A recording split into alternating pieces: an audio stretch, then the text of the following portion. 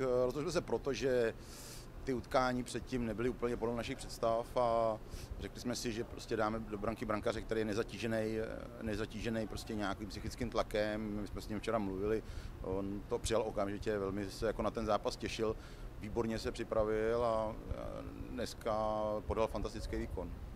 Zase se můžeme vrátit k historii. Mrázek v eh, Calgary chytil důležitý trestný střelení proti Americe a ten zápas jsme zvládli.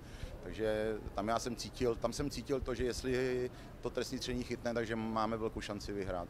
Trošku v závěru si, s, jsme, jsme dělali přemíry snahy trošku chyby, byly tam nějaký drobné fauly, ale zase na druhou stranu oproti minulým zápasům jsme hráli excelentně oslabení.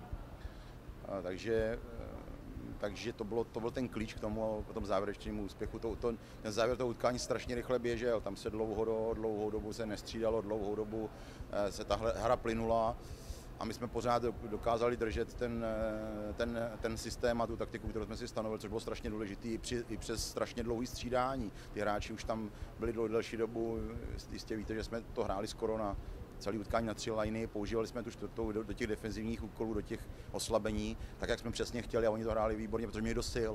Takže a myslím si, že nám ty věci, které jsme si naplánovali, dneska vyšly. Je to prostě soupeř, je to čtvrtfinále, je to prostě, to my jsme už třikrát za sebou v tom čtvrtfinále byli blíž či dál k nějakému úspěchu a tady vidíte, dneska porazíte Rusy a, a Slováci budou hrát určitě dobře, protože i oni si taky splnili ten svůj sen, postoupit do, do, do čtvrtfinále, mají tam výborný hokejisty, hrajou jednoduchý, kompaktní hokej, my jsme s nimi hráli uh, přátelský utkání, který jsme neodehráli dobře, tak doufám, že z toho vyvodíme nějaký, nebo ne doufám, věřím, že z toho vyvodíme jasný jasný závěr a, a ponaučíme se z toho neúspěchu a, a, a konečně prolomíme ty brány toho semifinále. Odvezeme výstroj na druhý stadion, dáme si večeři, půjdeme spát a ráno letíme do Montrealu. Takže to je asi tak zhruba náš, naše oslava. Uh,